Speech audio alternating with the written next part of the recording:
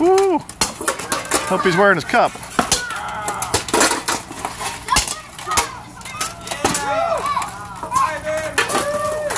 Legs, girl. Beat his legs.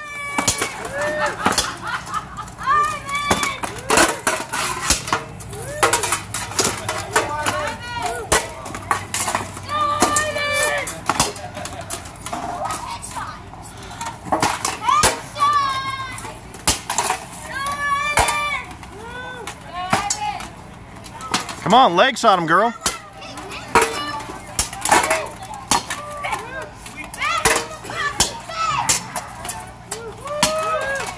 All right, 10 seconds. 10, 9, 8, 7, 6, 5, 4, 3, 2, 1. Stop.